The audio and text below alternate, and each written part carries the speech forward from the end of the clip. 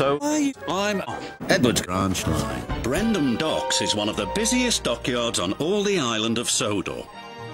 It's where ships and scrap engines are busy day and night, every day of the year. But poor Cranky the Crane never gets a nap. He never gets to sleep early.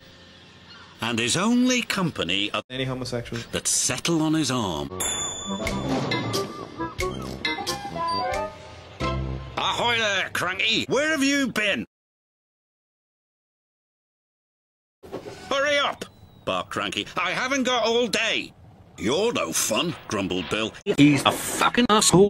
You're lonely, said Ben. I'm not! Reminds me of a lonely old. Bloody piece of turd. Not another one of your stories, cried Cranky. Oh, please, Salty, they chimed. We haven't heard it. 'Twas in the middle of a wee naughty storm. Cranky's heart sank as Salty uttered those fateful words. He barely. come out of there alive. After a scary days at sea without a scratch, he sailed into port. and-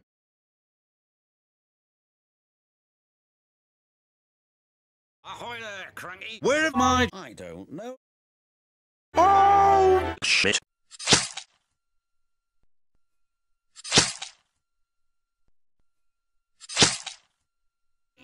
I can't take any more. The Fat Controller sent me to help clear away this mess. As long as I don't have to listen to any more of Salty's stories.